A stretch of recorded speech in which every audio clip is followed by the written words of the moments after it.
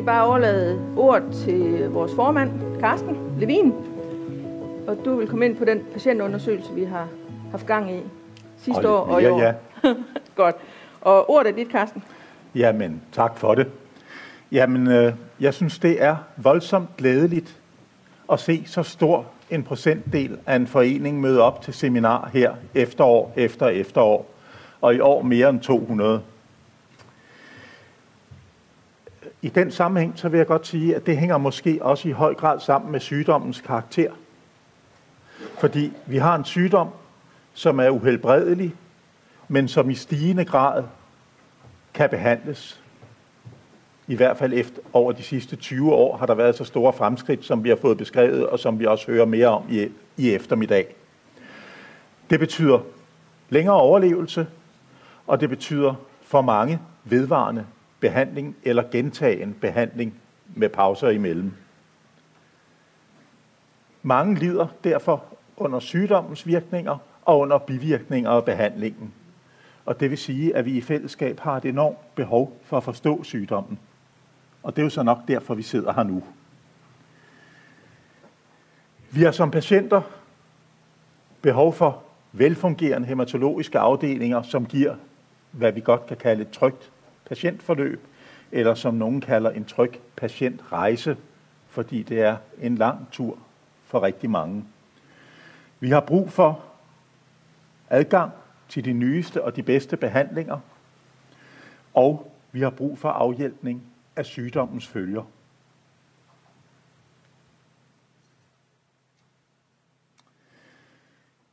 Hvad angår tryghed og oplevelse af velfungerende afdelinger, så har foreningen i 2020 taget initiativ til en patientundersøgelse, som blev gennemført i 2021.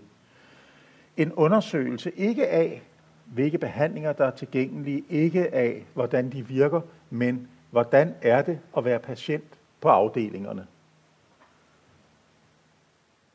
Møder du de samme læger, de samme sygeplejersker hver gang?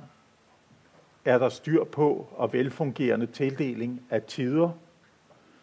Overholdes tiderne, når man kommer?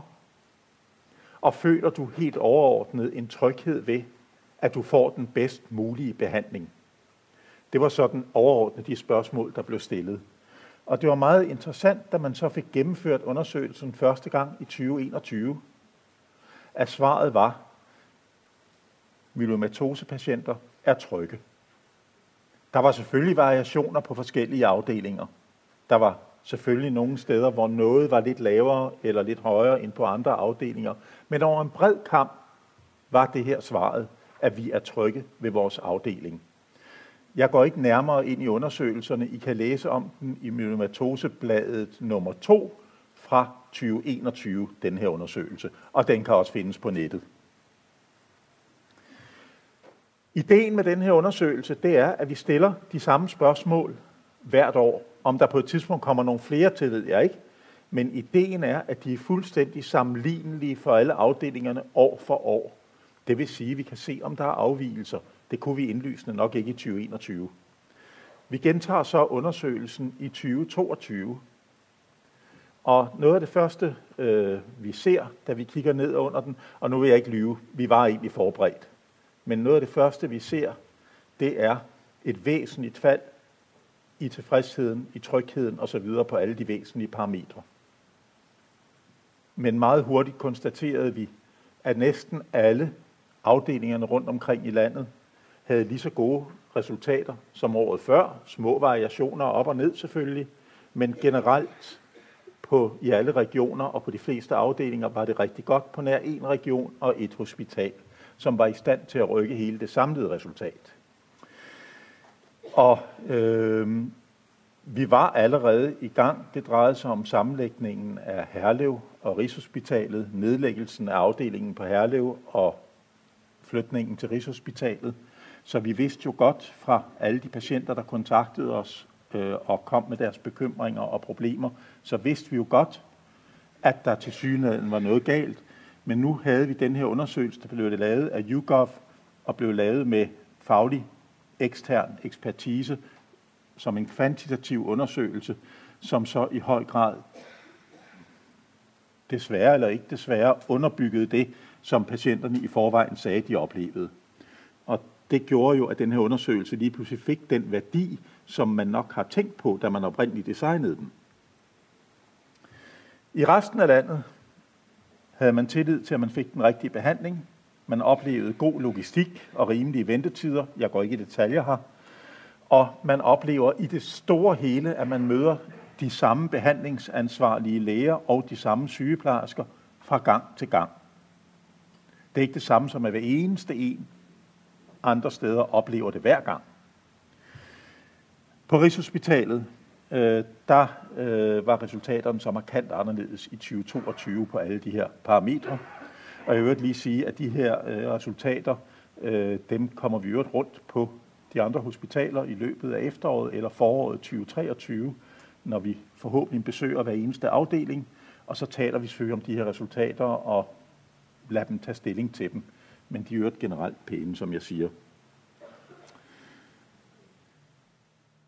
På Rigshospitalet øh, var der i undersøgelsen i marts-april i år den her manglende tillid til, at man fik den rigtige behandling. I øvrigt en stor ændring i forhold til tidligere, hvor også Rigshospitalets patienter gav udtryk for stor tryghed hele vejen igennem. Manglende overholdelse af aftaler og tider, skiftende læger og fravær af behandlingsansvarlige læger. I foråret 2022 betød det, at vi havde et par møder med øh, Rigshospitalets med ledelsen for hematologien og med afdelingsledelsen på øh, afdelingen for blodsygdomme og øh, hørte om de tiltag, øh, som de ville tage.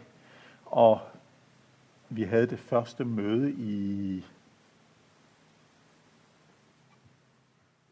marts, ja.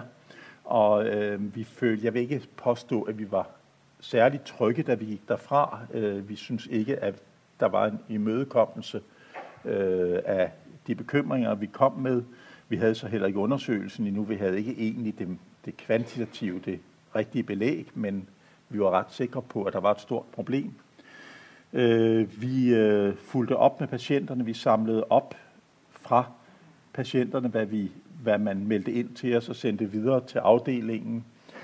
Vi øh, lavede også en midlertidig Facebook-gruppe for patienter med myelomatose og AL amyloidose på Rigshospitalet, sådan at vi kunne give dem, der var på Facebook, en mulighed for at udveksle informationer og holde os informeret. Og så vil jeg sige, at vi havde så et møde igen i slutningen af juni, og i mellemtiden er der kommet ny ledelse på afdelingen, og vi siger absolut ikke, at alt er løst. Men som det er nu, så er vi rimelig betrykket ved, at man er ved at tage en række tiltag, som vil løse problemerne. Man kan ikke løse det generelt sygeplejerske problem. Der er mange generelle problemer, man jo ikke kan løse selv og her. De vil også ramme den afdeling. Men det er vores øh, overbevisning, som det er nu, at de tiltag, man tager skridt for skridt, vil løse problemerne og gøre, at det bliver trygt at være patient på landets største hematologiske afdeling igen.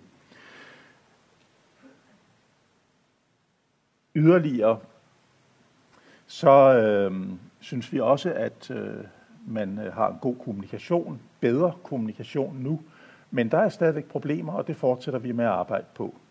Øh, vi håber, at den næste undersøgelse, der bliver gennemført i øh, 2023, at den viser, at Rigshospitalet performer mindst lige så godt som landets øvrige hospitaler. Øh, og det er jo den fortsat proces, det her. Men jeg vil sige, at da det ene område, vi arbejder med, det er at være tryg som patient, så det, at øh, den tidligere formand og bestyrelse fik sat gang i at få lavet den her undersøgelse i 2021, før man vidste, at man reelt ville stå og have brug for den, i så høj grad, som vi fik det. Øh, det synes jeg er alt ære værd. Ja, Udover det her med, at sygehusene fungerer og skaber en situation, hvor vi som patienter føler os trygge, så er der to andre områder, som er vigtige for os alle sammen.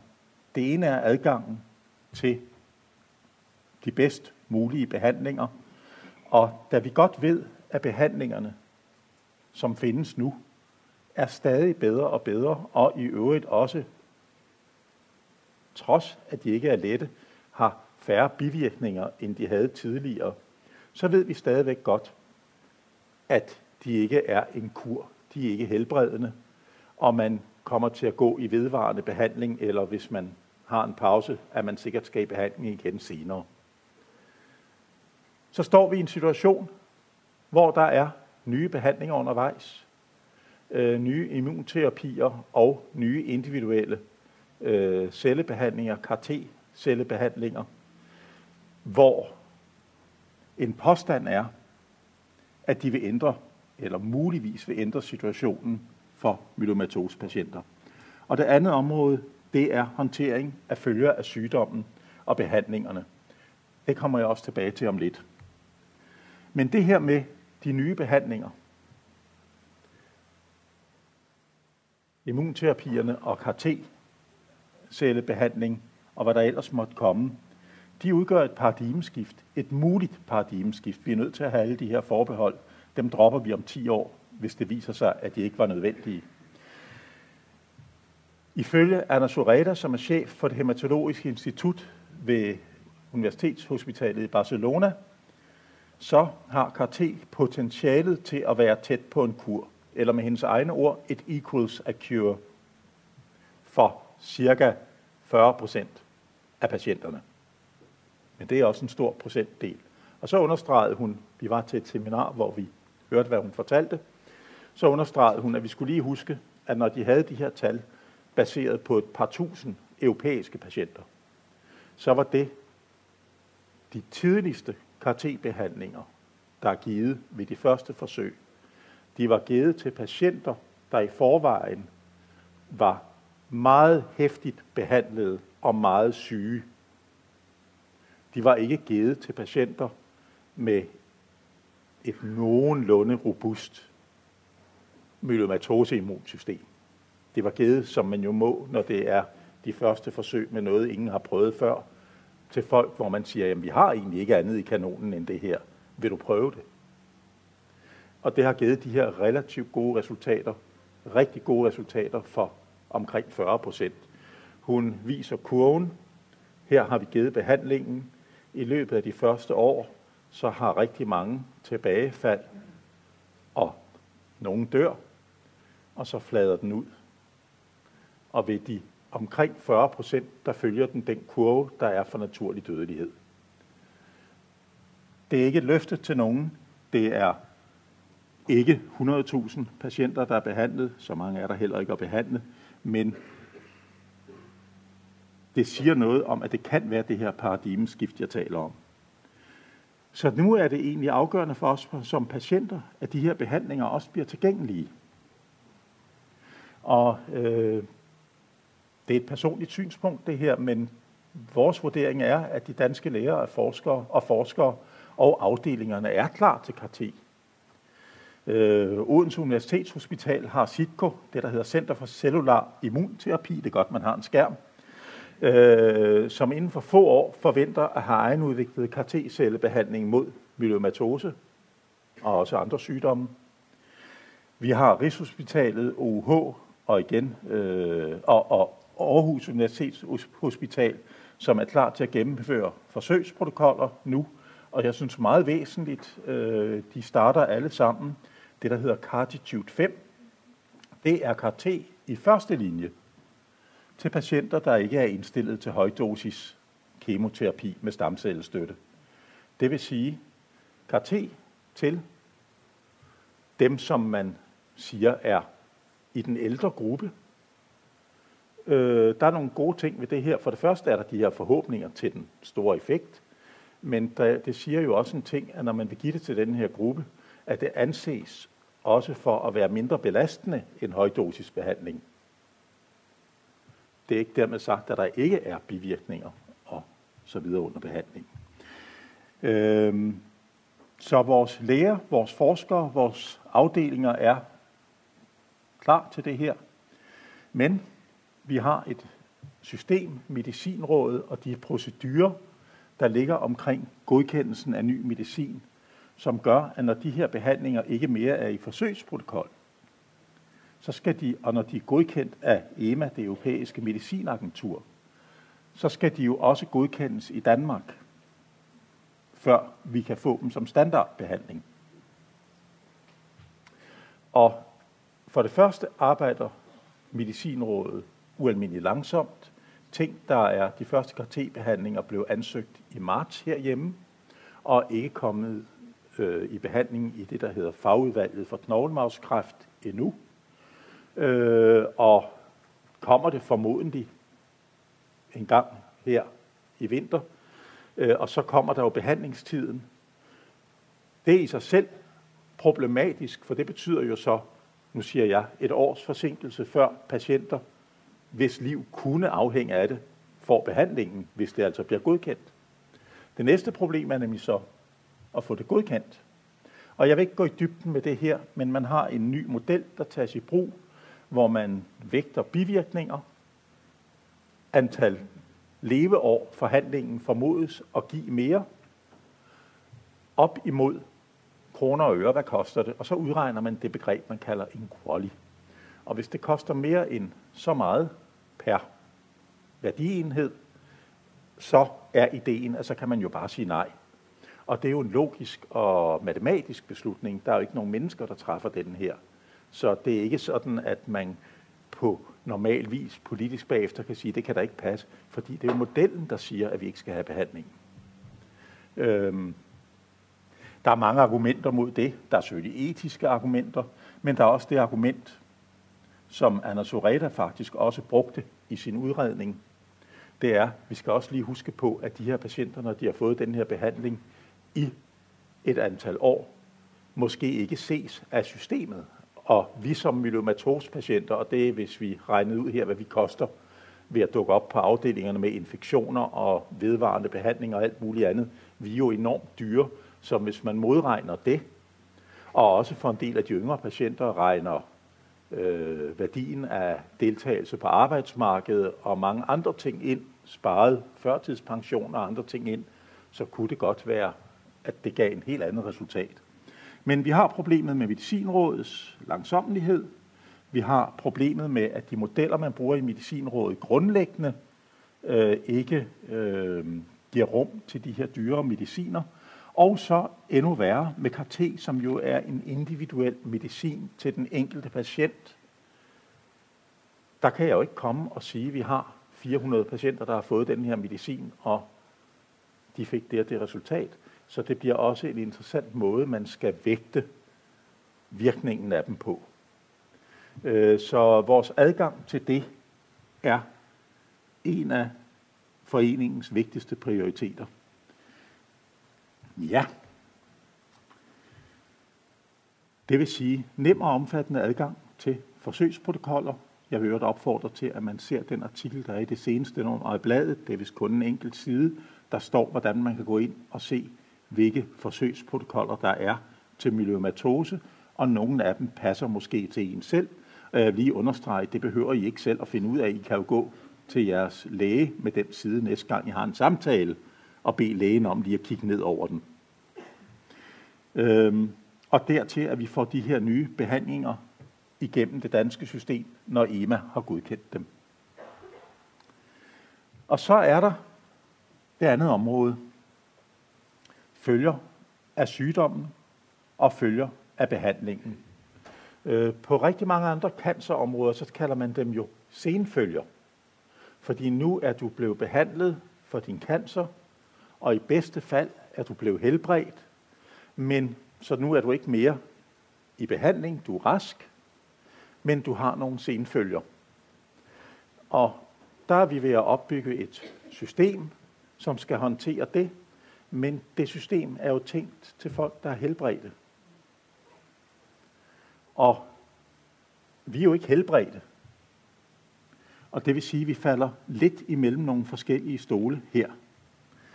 Og det er et andet væsentligt område. Der er rigtig mange, og det vil vi sikkert også kunne finde i det her rum, der kommer ud efter en højdosisbehandling eller efter en anden behandling, og får et afmålt forløb i kommunen og andre steder med gymnastik og genoptræning, men det udløber, fordi nu det er jo, du, du, du er ikke inde i et senfølgeforløb.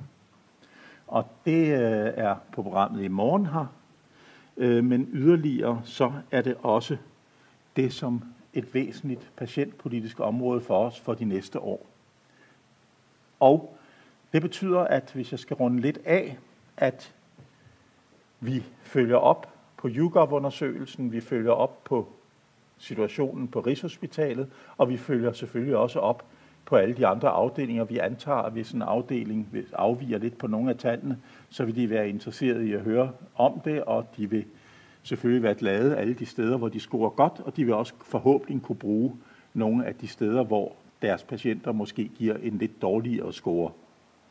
Så vil vi arbejde med adgang til behandlingerne i forsøgsprotokoller og som godkendte standardbehandlinger, og vi vil arbejde for bedre adgang til hjælp ved det, der er vores senfølger. Jeg startede så med at sige, at det er imponerende, at så stor en procentdel af foreningens medlemmer møder op her. Og sagde lidt, at det hang sammen med sygdommens karakter. Og så vil jeg godt sådan lige afslutte med at sige, at vi ved nu, at der er ca. 1950 patienter i Danmark med myelomatose, og et lille ekstra antal med AL amyloidose. Foreningen har i hvert fald 1.100 medlemmer. Det vil sige, at ud af 1950 patienter, så har vi 1100 pårørende og patienter som medlemmer. Det er igen det her, som jeg talte om, et udtryk for sygdommens alvorlighed og behov for en indsats omkring sygdommen. Og også et enormt behov for foreningens 15 netværk og vores AL af Miljødose online netværk. Øhm, og det er også derfor, vi sidder her sammen øh, og arbejder for gode og stadig bedre fungerende sygehusafdelinger og omkring de her to patientpolitiske mål. Og hermed vil jeg bare sige, at jeg glæder mig rigtig meget til resten af dagen her.